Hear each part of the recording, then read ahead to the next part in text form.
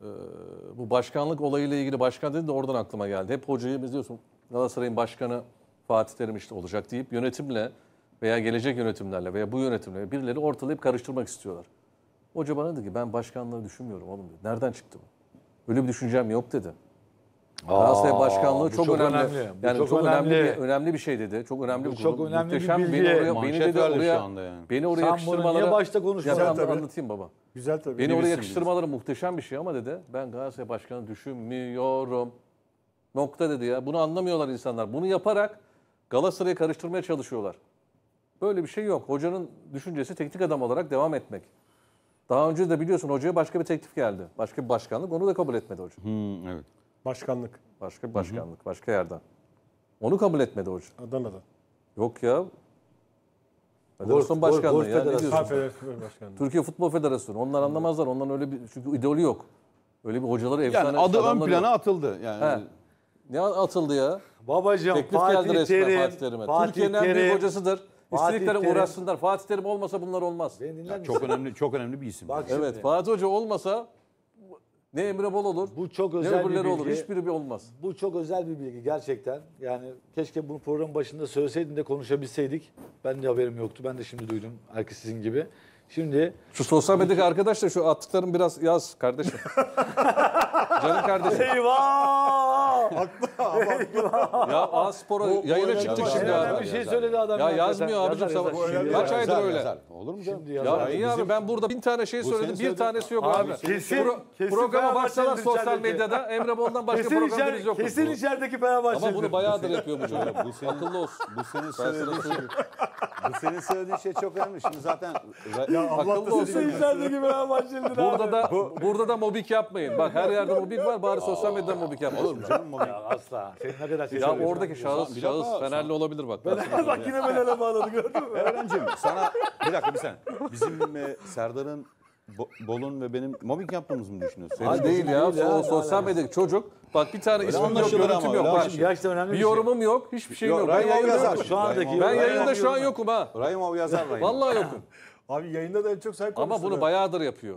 Şimdi değil bu. Kesin Benim- Fenerbahçeli. Ben ya sabah akşam üzerine- kestirip ben Üzerine atıyorum. oyunlar kendimi. oynanıyor Evren Toran'ın. Ya Emre Ama önemli- bırak dalgayı. Ama önemli Doğru bir şey abi. söyleyeceğim. Şu Ama bak neyse. lafı yazması lazım. Önemli Fatih Ulan Hoca. sabah akşam ben uğraşıyorum. Oradan dakika, A bir dakika. Spor'dan önemli kesip başlık- kendim atıyorum. bir dakika, Benim uğraştığım Aykut. Fatih Hoca Fatih sana Hoca- benim Galatasaray Kulübü başkanlığıyla başkanlığı düşünmüyorum. Düşünmüyorum. Düşünmüyorum. Böyle bir şey yok. Saygı duyuyorum. Müthiş bir kurum. Ben burada tabii ki isterim. Beni oraya değer görmeleri abi. muhteşem. Ama benim düşüncem öyle bir düşüncem yok. Ben de Burada şöyle bir şey bilsin söyleyeyim. Bitti. Bence de Ben de- Fatih Hoca teknik adamlık çok yakışıyor. Allah ömür versin, yapmaya devam etsin. Hocanın Ee, isteği o. Hocanın isteği bence bence de o. Çünkü o çim kokusundan uzak kalamaz o, o tür adam. Hala Hoca bu işi ya. seviyor yani. Hala yazmadılar. Sen şimdi işin İnanılmaz bir dalgasındasın şey. ama Yok, bu, bu bir gerçek. söylüyorum. Hakikaten önemli O, ya. o oradaki Keşke çocuk- program başında söyleseydin. Çok önemli bir bilgi bu. Yok benim için o çok önemli Şimdi bir şey ben- değil. Ben, bir Ben gerek şeyleri ha, söylüyorum zaten. Konuyla ilgili, konuyla ilgili ben de bir yorum yapmak istiyorum. Fatih Hoca bu ülkenin en önemli teknik direktörlerinden bir tanesidir. Bir Galatasaray efsanesidir.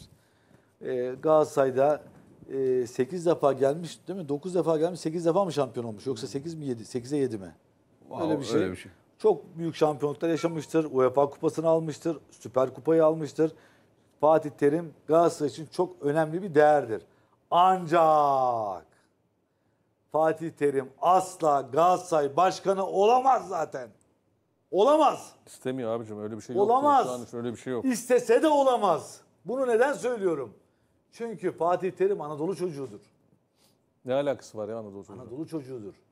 Bıçkın Adana delikanlısıdır. Tamam mı? Galatasaray'daki o sistem o sistem Fatih Terim'in daha yukarıya çıkmasına engeller. Yok öyle bir düşüncesi yok zaten. Yok ama zaten Yok, yok. engeller. Zaten asla olamaz. İstemiyor öyle bir şey şu an. Olamaz. Çalışmak istiyor. Çalışsın. Yani Emre burada Ya takım da Fatih Hoca'yı çalışacak. Ben eleştirmiyor. başka bir şey söylüyorum. Sistemi Hayır, Sistemi, eleştirmiyor oradaki canım. sistemi eleştiriyorum. Bugün geçen gün şeyden konuşuyoruz. Evren var birkaç tane daha futbol dünyasından dostumuz var.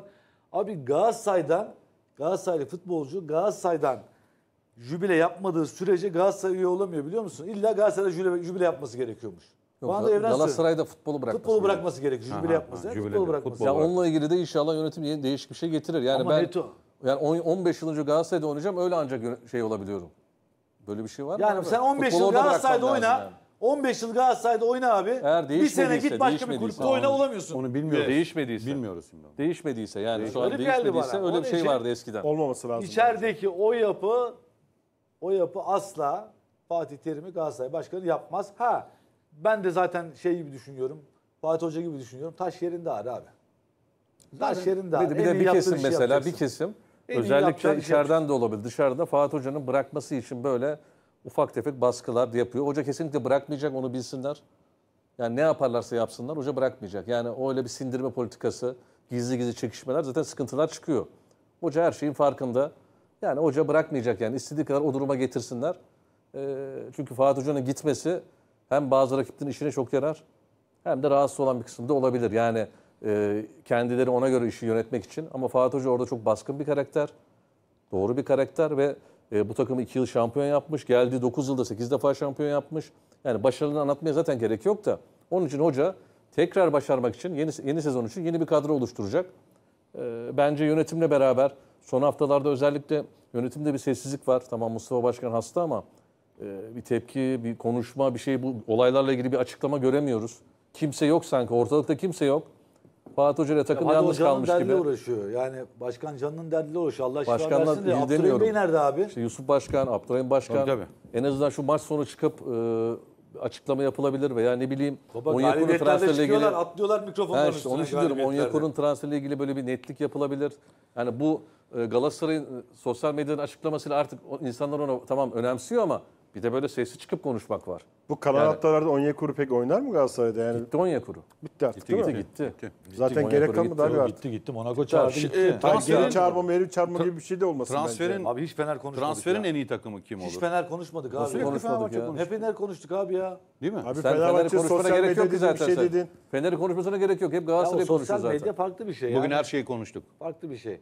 Şimdi bu haftanın bu haftanın özelinde bazı şey ne kadar vaktimiz var? Bir 5 dakika var. 5 dakika var yeter bana 5. 5 dakika konuşsun Yeter abi. bana. Yeter abi. Şimdi bu haftanın özelinde bir şeyler anlatmak istiyorum esasında. Şimdi Fenerbahçe yönetimi bu kadar sıkıntıya rağmen gitti. YouTube'dan, YouTube'dan almışlar ama Palette diye bir oyuncu transfer ettiler değil mi? Fenerbahçe'nin Palette diye bir oyuncusu var. Bakıyoruz 2 hafta, 3 haftada da fena, fena, fena oynamıyor, iyi oynuyor.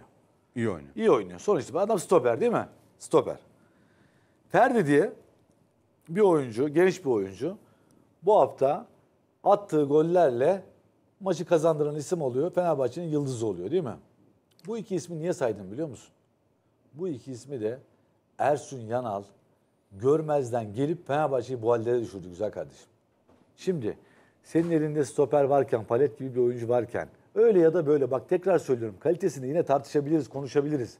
Fakat oraya Jason'u koyup Jason her hafta şey sayıyorduk biliyorsun Jason yüzünden kaybedilen puanlar 3. Evet. Jason yüzünden kaybedilen puanlar 1. Attı 4. İşte Jason yüzünden kaybedilen Ersun puanlar. Hoca gitti gene o puanlar Tamam mı? kaybedilmeye devam ediyor. Şimdi bu Jason, Jason, Jason ısrar ettin.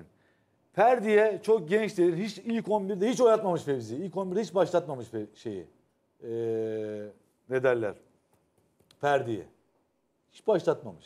Şimdi bugün evinde oturduğun zaman ya ben bir hata yaptım diye acaba düşünüyor musun ya?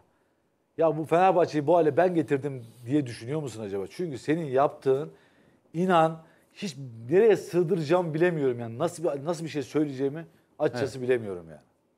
Yani e, bu noktada tabii Trabzonspor'u da şampiyonluk yolundaki e, oynayacağı karşılaşmaları da mercek altına alalım isterim sevgili Serdar. E, Sosa geldikten sonra bir anda iş değişti. Sosa sahaya Oyunun indi. akışı, Evet. Takımın sahadaki yürüyüşü değişti. Yani bir oyuncu Trabzon'un e, takım içerisindeki yani futbol aktı. Trabzon sporun sahadaki gölgesi, teknik adam gölgesi Sosa. E, zaten Sosa'ya oyun içerisinde baktığında o genç oyuncular özellikle sen şurada dur, sen şöyle geç. Bir yandan teknik direktörlük, bir yandan asist, bir yandan oyunu yönetme, defansif ve ofansif anlamda. Ama tabii daha 90 dakika, fizik kondisyonu 90 dakika için yeterli seviyede olmadığını gördük. Zaten oyundan çıkarma nedeni o. Düşüyor. Evet. Hava sıcak. Evet.